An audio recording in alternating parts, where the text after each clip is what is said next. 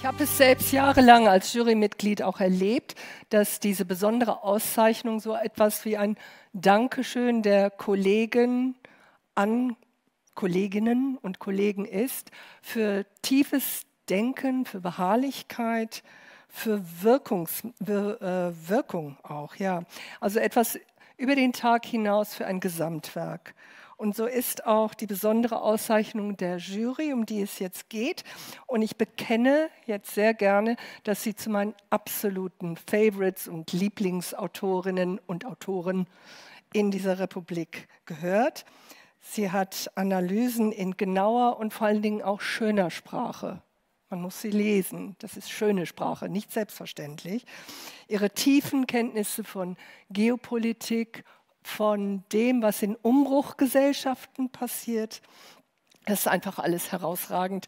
Die besondere Auszeichnung der Jury, dotiert mit 10.000 Euro, geht an die wunderbare Sonja Zekri von der Süddeutschen Zeitung.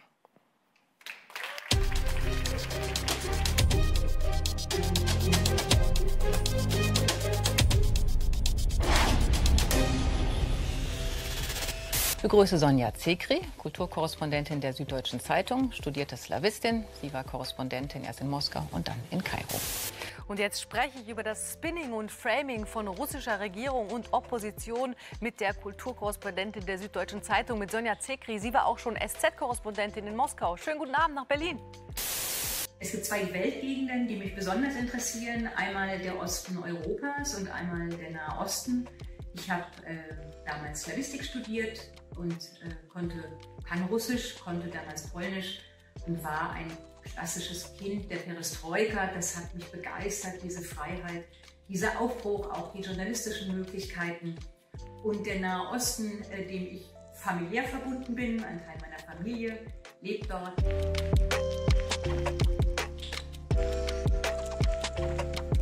Das ist einfach eine unglaublich dynamische Weltgegend. Ich habe mit, mit meiner Arbeit war ich ähm, eigentlich immer zwischen allen Stühlen, zwischen politischer Berichterstattung und Feuilleton. Ähm, dann gibt es das politische Feuilleton. Und ich weiß, ich war damals die erste Auslandskorrespondentin überhaupt, die aus dem Feuilleton kam, ähm, was äh, damals auch sehr zur Kenntnis genommen wurde. Und ich habe äh, mich einfach, wollte mich auch nie in diese Kästchen einsperren lassen.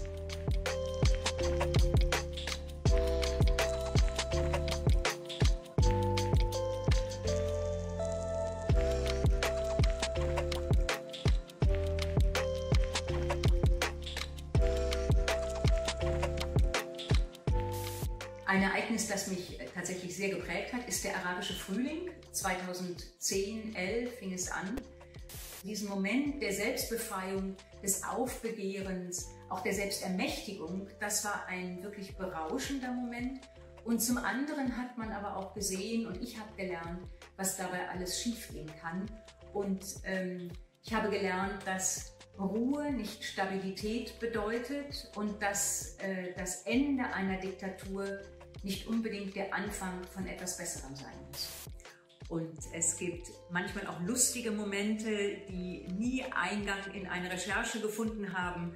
Ich habe einmal eine Geschichte gemacht über russische Wassermelonen. Es gibt eine berühmte russische Wassermelone aus Archangelsk und äh, der Direktor der Zuchtstation kam etwas angeheitert von einer Dienstreise zurück und begrüßte mich mit den Worten, beschäftigen Sie sich mit Sex. Und dann habe ich nur gesagt, im Moment beschäftige ich mich eigentlich eher mit Wassermelonen.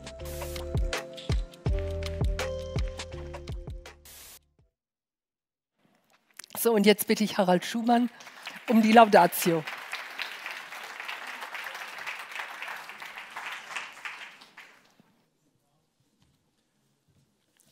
Ja, schönen guten Abend. Ich freue mich sehr, heute diese Laudatio sprechen zu dürfen, muss ich sagen. Da geht es mir genau wie Sonja Mikisch.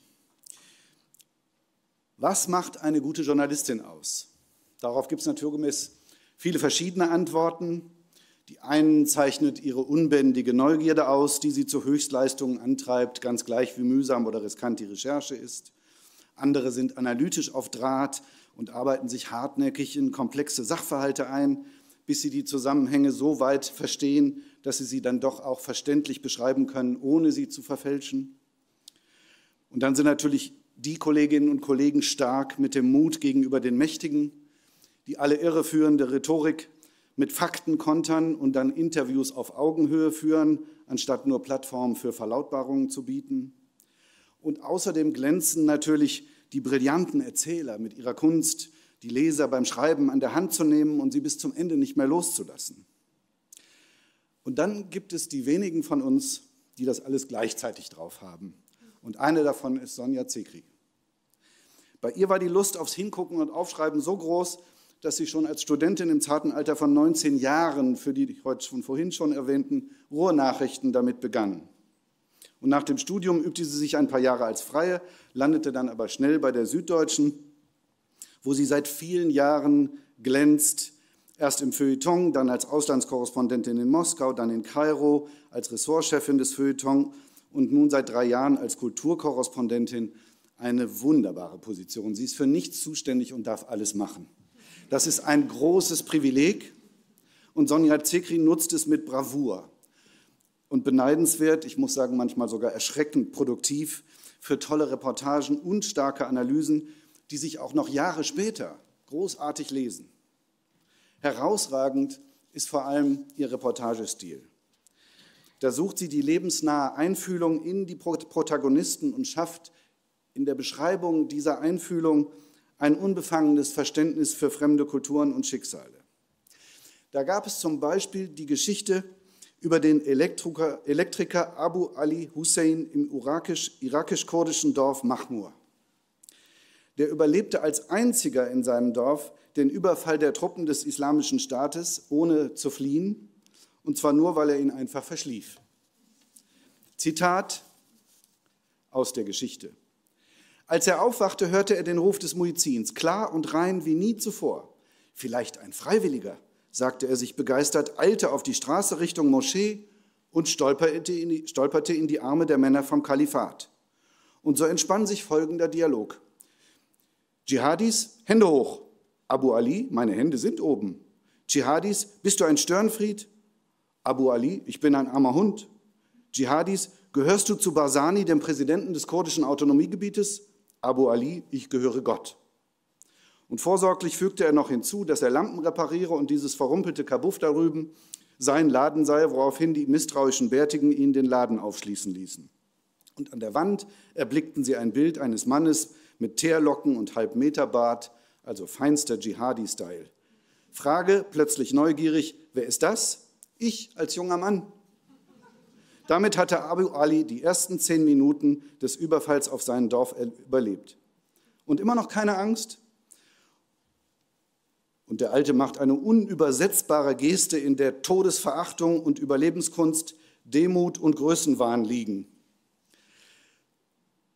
Und da sieht man eine, Moment.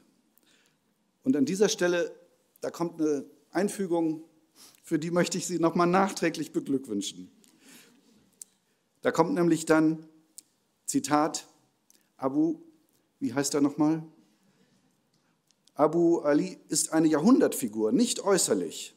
Da sieht man eine unscheinbare, etwas abgerissene Gestalt mit dunklen Zähnen und Muttermal.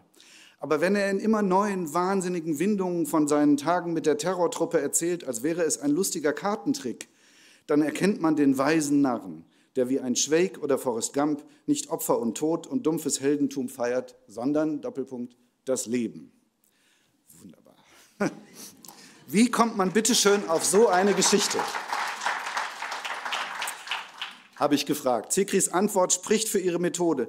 Gerade wenn alles ganz schlimm ist, muss man unbedingt auch lustige Geschichten erzählen. Man erreicht die Leute nicht nur mit Schrecken. Ganz nah ran ging sie auch im vergangenen Februar mit einem Stück über das Leben auf dem Schlachtfeld in Bachmut. Dort traf sie den 25-jährigen Zugführer Sascha Tertutschny, genannt der Taktiker. Zitat. Sie kam aus Bachmut, ihre Stimmung war von einer ans hysterische grenzenden Aufgekratztheit und die Geschwindigkeit, mit der sie durch die Dämmerung bretterten, halsbrecherisch. Blond, rotwangig, mit struppigem Vollbart sah der Taktiker jung aus, voller Leben. In ein Treffen am nächsten Tag willigte er sofort ein. Der Kampf um Bachmut ist kein Hightech-Krieg, sondern ein archaisches Schlachten mit Schützengräben voller Leichen und Gegnern, die sich Auge in Auge umbringen. Manchmal weigerten sich die Soldaten morgens ihre Stellungen einzunehmen, sagt Herr Titschny. Dann musste er entscheiden, ob aus Aufsässigkeit oder Entkräftung. Ich sagte ihnen, ihr müsst die anderen ablösen, dann löse ich euch ab. Sind doch unsere Jungs. Die letzte Verabredung mit ihm findet dann nicht mehr statt. Am Sonntagmorgen schickt Herr Titschny einen gehetzten Zweiteiler aus Bachmut. Sie brechen durch, komme nicht weg. Am Sonntagabend meldet er sich noch einmal. Er schreibt, haben Jungs verloren, sechs tot, zwei gefangen. Dummer Tod. Das war seine letzte Nachricht. Ein Mitkämpfer schreibt, niemand wisse, ob er tot ist, ob verwundet, ob in den Händen russischer Truppen. Aber weil dies die Ukraine ist, wo die Menschen ein Wunder nie ausschließen, ist immer noch möglich, dass Sascha Tertutschny doch wieder auftaucht und einen dreckigen Witz macht und sich den Schrecken von der Seele lacht. Das geht sogar beim Lesen unter die Haut. Aber warum tut sie sich das an? So ein Risiko auch für sich selbst an die vorderste Frontlinie fahren, habe ich gefragt und Zekri antwortete ohne Zögern, ich musste das selbst sehen. Ich sehe mich als Medien, Medium. Ich muss den Schmerz, Schmerz durch mich durchlassen. Ich will mitfühlen, ohne Partei zu sein. Das ist eine verdammt harte, um nicht zu sagen brutale Anforderung, der sich, glaube ich, nur wenige Kollegen stellen. Also ich würde es nicht tun, muss ich ganz offen zugeben. Doch die auf diesem Weg erfahrenen Geschichten sind dann Meisterwerke der Aufklärung mit journalistischen Mitteln. Aber darauf beschränkt sich Zekris Arbeit nicht. Nicht minder stark sind ihre politischen Essays. Zum Beispiel, als Frankreichs Präsident Macron es wagte, die Europäer als Mitläufer der USA zu titulieren, die Gefahr laufen, sich von Washington in einen Krieg um Taiwan hineinziehen zu lassen. Damals reagierten Politiker aller Couleur, auch viele Journalisten empört und warfen Macron vor, er spalte den Westen. Zekri stellte dann eine einfache Frage dagegen. Was soll das denn sein, der Westen? titelte sie und erinnerte daran, dass diese Wertegemeinschaft zwar von universellen Rechten spricht, aber der Rest der Welt die vermeintliche zivilisatorische Überlegenheit des Westens als besonders ausgefeiltes Ausschlusskriterium betrachtet. Je unschärfer die politische Topographie des Westens erscheint, desto leidenschaftlicher wird moralische Selbstvergewisserung betrieben, schrieb sie. Unter dem Eindruck des russischen Angriffs wächst der Wunsch nach klarer Kante gegenüber Ländern wie Iran oder China, nur sind dies, zugespitzt formuliert, die prominentesten unter den Diktaturen, während die weniger exponierten Schurkenstaaten weiterhin ganz gut wegkommen. Ich hätte noch hinzugefügt, weil wir dort Rohstoffinteressen haben. Vehement legt Zekri Widerspruch ein, wenn plötzlich alles Russische aus dem kulturellen Geleben gestrichen wird. Zitat, die Geschwindigkeit, mit der langjährige deutsch-russische Kooperationen in Kunst und Wissenschaft beendet werden, in der ausgeladen und abgesagt wird, Ultimaten gestellt und Bekenntnisse abgefragt, in der nicht nur russische Künstlerinnen und Künstler, sondern auch ihre europäischen Partner befragt und bedrängt werden, ist atemberaubend. Dass im Internet die Aufforderung eines Bäckermeisters kursiert, den russischen Zupfkuchen nur noch als Zupfkuchen auszuweisen, mag ein Fake sein. Undenkbar ist es jedoch in dieser Stimmung heute nicht. Die Grundlage für diese und für viele andere Stücke dieser Art ist eine der wichtigsten journalistischen Tugenden überhaupt. Zitat Sonja Zikri, wenn alle in eine Richtung laufen, dann fange ich an zu fragen, sagt sie. Oder anders ausgedrückt, Sonja Zikri hält stets dagegen, wenn das Feindbild wichtiger wird als das Verständnis von Zusammenhang und Kontext. Und darum lohnt es sich immer, ihre Artikel zu lesen, weil man gewiss was lernen kann. Dafür gebührt ihr unser Dank und dieser Preis. Ich gratuliere.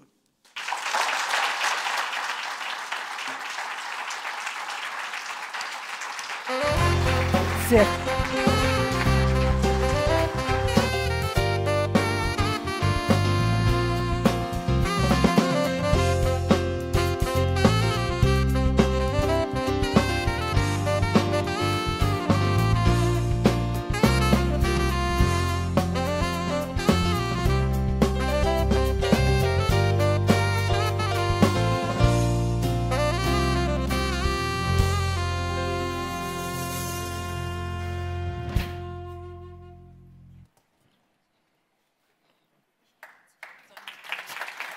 Doppelte Sonja. Frau Zekri, was bewegt Sie zurzeit? Ja, was alle bewegt, Nahost. Hm. Der Rechtsruck in Deutschland. Das bewegt mich. Beides hängt zusammen und beides ähm, bringt mich gerade um die Ruhe.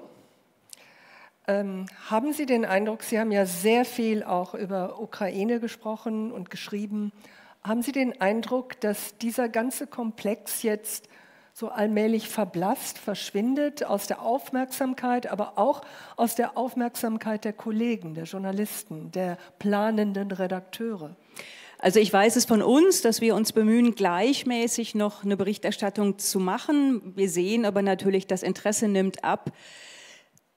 Wir alle wissen, es braucht nur ein großes und möglicherweise schreckliches Ereignis mhm. und die Aufmerksamkeit wird wieder da sein. Mhm. Ihre Beiträge vernetzen ja gerne Kultur, aber auch Geschichte, aber auch menschliche Schicksale und sehr große Fragen nach Moral und nach Sinn. Versuchen Sie Antworten zu geben?